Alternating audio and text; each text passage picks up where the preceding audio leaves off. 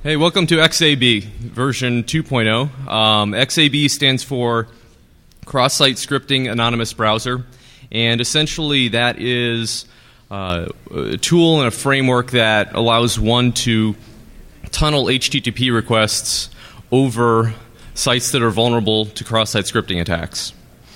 Um, the, uh, the, the prerequisites for this are number one, you've got to understand what cross site scripting already is. We're not going to explain it uh, during this talk in the limited time we have. Uh, you need to know basic HTML and basic JavaScript. Uh, my name is Jeff Ystromskis. Uh, I'm in a CISO role for a SaaS provider. Uh, this is my 10th DEF CON and first time presenting, so long time listener, first time caller. All right, and I'm Matt Flick, uh, principal with Firm Associates. Uh, and we're uh, information uh, information assurance uh, consulting company, focusing on AppSec a little bit, uh, which is pretty relevant. And I apologize for the sound of my voice. Um, it's related to bullet point number three. So, uh, what's the agenda for today? so first, I'm going to go through a little bit of history. This is version 2.0. Um, the initial one was back in February, or the initial release was back in February. I'll talk about what it is uh, what uh, kind of high level, how the idea came about, and things like that. And then Jeff, Jeff will get into uh, the details of it, uh, as many details as we can fit into a 20 minute talk. Uh, and then actually, we do have a live demo which worked in the green room, had a little trouble, but it's up and running. So, assuming everything goes well, you get to see a live demo. Otherwise, we'll play a video of one and put some music to it or something. and then we'll just wrap it up. So, how did the idea come about? Uh, last year, I was just reading articles on Tor and, uh, and attacks against Tor. And then, luckily for us, uh, one of my buddies hit me up uh, with a question on cross-site scripting he was dealing with at his, uh, at his job. And so I just kind of put the ideas in my head. And so I started thinking about, okay, well, you know, Tor's out there. It's a great tool. I love it. I use it all the time. What if we try and do something else, something different? So the same idea, do anonymous browsing – or anonymous things on the internet. Uh, but what if we try to use cross-site scripting in order to do that? So we threw a bunch of ideas around, uh, actually threw together a presentation, submitted to Black Hat DC, uh, and, and, presented it there uh, back in February to a few people. It's a little bit, a little bit more crowded today, thank God. Uh, but we actually did have a working demo there too, uh, and then released the code. Proof of concept code is out there. it's at the firm site. So, what is XAB? As we've said a bunch of times, cross-site scripting anonymous browser. Uh, basically, the idea, the, the basic framework is we've got proxies set up uh, that, or you can set up uh, either sites that you've, uh, you know, do, do a stored cross-site scripting, just store your JavaScript there, and then when people come and visit the site, it runs in their browser, same old thing of how cross-site scripting works. But basically, that kicks things off. You've got these two proxies on the outside, and then you have your victims or participants that hit one of those sites, run the JavaScript code, which forces their browser to pull the next request off of your queue, goes off, makes the request, sends it through. The response comes back, they package it up, the, the victim, the participant packages it up, and sends it back to you, the attacker. It's fairly simple architecture. It's uh, a, a, little bit similar to Tor, a little bit different. But what's cool about it, or what we thought was really cool about it, is that instead of actually having the, your participants in your anonymous network install something on purpose and, and you know, willingly load up the tool, you're actually just you know, forcing people to be, be a part of this network. And it's pretty dynamic. The JavaScript runs in the browser, or run by the browser, and then they do something for you and then they leave. So it's pretty cool. It's pretty dynamic uh, rather than being static. Although we, we came up with some other ideas that we were wanting to implement. Uh, some things have, some other things haven't yet been implemented. Uh, but things like doing encryption and uh, trying to tie together, string together multiple participants. Uh, so it's actually pretty difficult uh, to do that. Um, haven't gotten that yet working yet, but it's on the to-do list. But things like that that we presented at Black Hat DC, other ideas we've been wanting to try and uh, find other people to help uh, join us and and uh, fight the good fight. But one of the things that we mentioned that we brought up and discussed at uh, Black Hat DC was the use of HTML5. So if you can store your JavaScript long term in the clients, then that becomes a lot more reliable. One of the problems with doing things uh, with cross-site scripting is that you know if the if the JavaScript doesn't uh, doesn't finish executing, then you're going to miss part of your data that you're requesting. But if you can have it resident in the browser and and run basically whenever the you know user loads up their offline Gmail and things like that, assuming they're connected, uh, then you know that becomes a much more static, less dynamic, much more reliable thing. And I don't know if anyone went to Black Hat and saw the Veiled talk, but uh, it seems like they kind of took that idea and ran with it. Uh, so we thought that was pretty cool.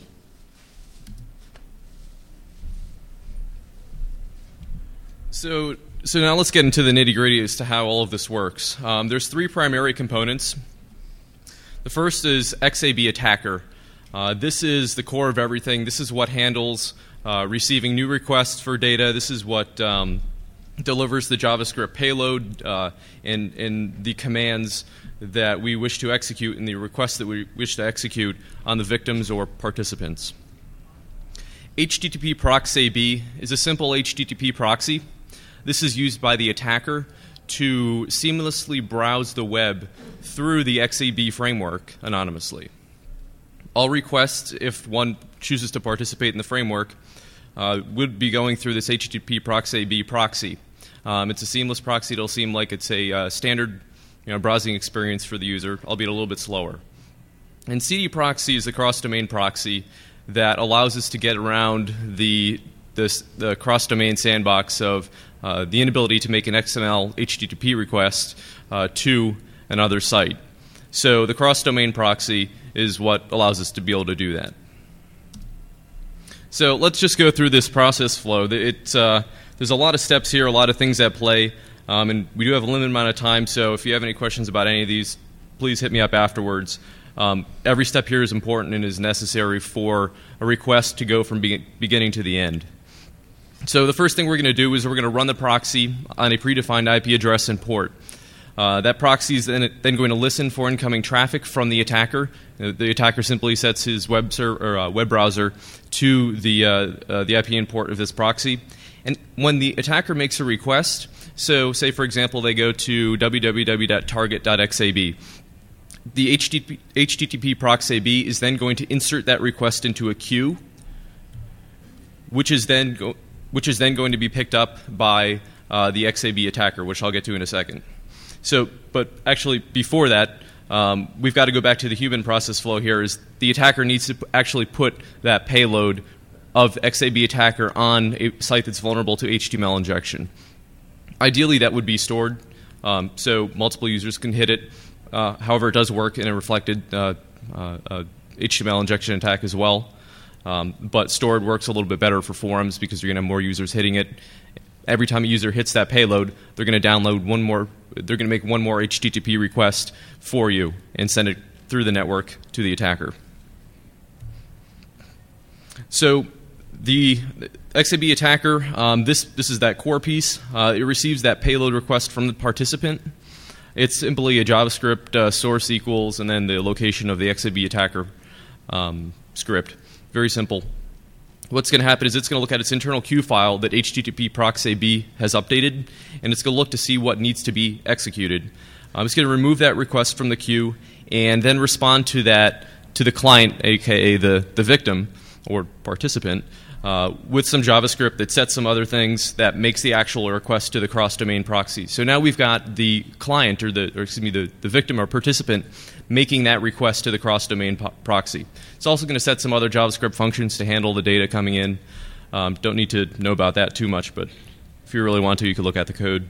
Um, and once the uh, uh, once a participant makes that request to the cross-domain proxy, um, we're going to hit this. We're going to hit step four now. So step four is really simple. They make the request uh, to the cross-domain proxy. The cross-domain proxy makes the request to the target site that the attacker, all the way at the top of the chain, wants to browse, and then it goes all the way back to the cross-domain proxy to the par- participant who's going to make image requests with that data in it. Because remember, we could change image, image requests with, uh, and we can append whatever we want to those image requests, and it's to make those calls to the XAB attacker uh, Perl script or CGI. Uh, all that data is going to be base64 encoded, and it's going to be split up based on uh, how much, based on how you configure it. So, I mean, you can only send what 2,000 something characters in an IE URL. So you want to set that a little bit below that, and the max data size that uh, the cross-domain proxy, or excuse me, the participant sends to the XAB attacker to receive this data is always going to be under. It's going to be in chunks under the maximum uh, for that browser. So once XAB attacker receives all this data, it's going to write it to a file, and it's going to send. So for each of these image requests, it's going to send them back a one by one GIF image. It's transparent, so there's nothing funny in their browser. And once it receives all of those segments, it's going to uh, combine all that and base64 decode that and place it in the dump directory. Finally, the HTTP proxy AB is going to scan that dump directory. If it sees the file request it's looking for, it's going to send it back to the attacker. The attacker is going to view the web page. So, uh, before we get into the live demo, this is what the setup looks like. I don't know if you could read the little uh, boxes, but uh, vulnsite.xab, this is simply the site that is vulnerable to HTML injection with the attacker's payload. Target.xab is the site that um, the attacker wishes to browse through this anonymous network. Attacker.xab is the site that is owned by the attacker that runs that X- XAB attacker uh, uh, tool that's the, the, core of everything. And freehost.xab is where we're hosting uh, the cross domain proxy. On the client side, this is on the host OS on the actual laptop outside of the VM, we have two web browser instances. We have the victim who has no proxy. He's going to he's going to browse to vulnerable site vulnsite.xab with that payload on there. And then we've got the attacker client. The attacker client um, is going to go to target.xab through the HTTP proxab proxy.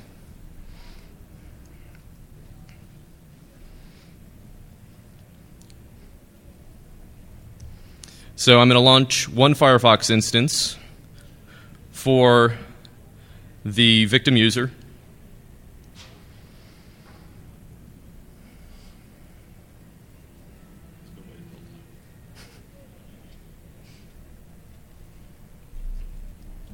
Okay? Sure. So this guy's going to go to vulnsite.xab. Uh, you can see the. There's not too much time, but I'll, if there's time, I'll show you what the payload actually looks like.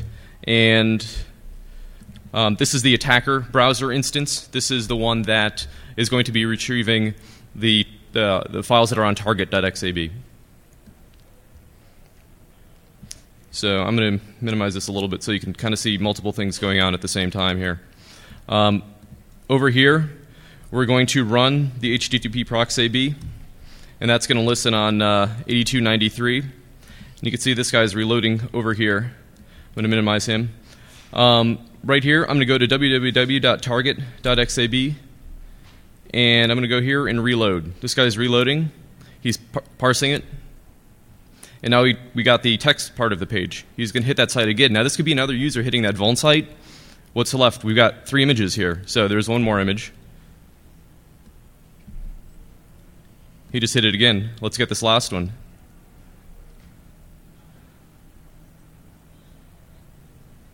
But wait, there's more. We've got the uh, favicon.ico up here. Let's see if it, will uh, grab that one for us, too. Sure enough, it did.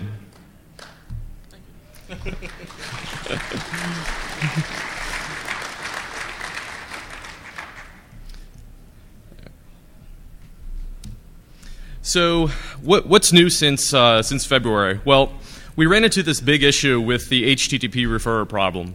And smart folks in here may have already figured out that we're passing the referrer from the vulnerable site to the cross domain proxy. All right, so by doing that, the owner of the cross domain proxy can look at the vulnerable site, and if they look at that source code, they could see the location of the XAB attacker payload and machine. So that's kind of an issue. Um, so there's a couple ways around this. Um, one is to find sites that uh, are vulnerable to H- HTML injection that are always uh, SSL. The RFC 2616 says that browsers should not uh, pass the refer when the connection is secured with SSL. Um, that is the case for IE and Firefox, the most recent ones. So that's one option that will get rid of the refer. Another, another option is to use local files. Local files will also not pass the refer. Um, so it's another possibility. Uh, thirdly, there's using iframes. What if we use created an iframe that has its source set to another site that's vulnerable to HTML injection, but from a reflected standpoint, so it reflects back the, param- the URL parameters, and then we put our payload in there to the, the request across domain proxy in there. So then the refers from the site uh, that has the reflected cross-site scripting uh, attack capable on it, and uh, so now we're what three subpoenas away from the attacker. So you know, the more people you add in there, the more more anonymous it, it can get. Um, and then finally, the last way around the refer problem is the is random browser bugs that pop up and, and get fixed pretty quickly. Um, so, least favorable favorable approach, but there are approaches to it. Um, since then, we've also uh, added improved content handling. Uh, the content handling, instead of using uh, FileMagick to figure out what type of file it was um, and then send the appropriate content type to the attacker, um, we just take the content type coming straight from the cross domain proxy and uh, pass that all the way with the, uh, with the string. With the data that's going in, so we're always going to have the right content type. So, in theory, you should be able to hit you know, movies, uh, should be able to hit MP3s, PDFs, uh, any type of content.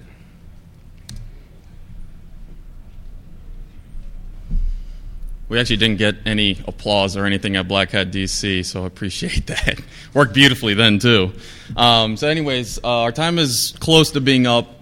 Um, it was pretty quick. So, basically, again, the idea is that we want to build something that uh, allows anonymity or some level of anonymity. Uh, there are problems like the refer header uh, and, and other things that may limit the ability to have it anonymous. But as we keep working on it and building in new things and, and more functionality and stuff like that, uh, you know, it seems like an exciting thing that uh, uh, we want to keep working on. We could probably make it better and better. Um, so, anyways, if you want uh, you want to learn more about it, you can download the code from firmassociates.com. Uh, feel free to hit us up after the talk, of course. Uh, and if you uh, uh, want a beer or anything like that, I'm all drunk out today, so uh, I'll buy you one, but not myself. Any questions? We actually have a few minutes. No technical questions. Way too tired for that. Yeah, in the back?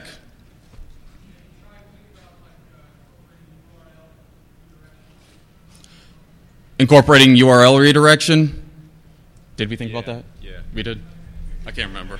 So, so are you talking about uh, to get rid of the referrer issue?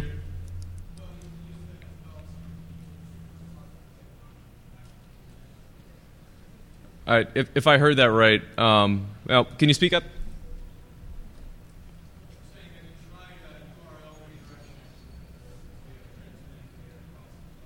Oh, to transmit data instead of the image.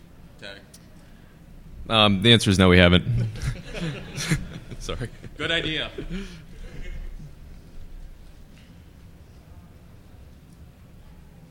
Anyone else? We got a minute. Sweet, finish early. All right, thanks a lot, guys.